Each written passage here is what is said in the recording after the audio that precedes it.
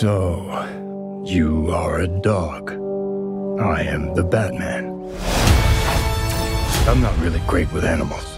Yeah, I'm not really great with people. Probably because of my traumatic puppyhood.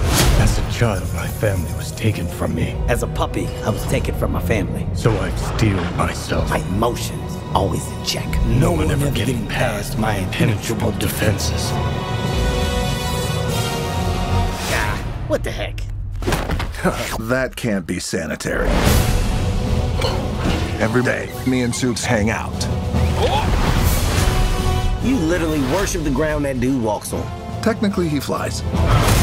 Batman works alone, except for Robin. And Alfred, Commissioner Gordon, my IT crew, whoever Morgan Freeman played. What do I have here? Squeezy Bruce! Squeezy what? Better be a licensed toy or I will freak out.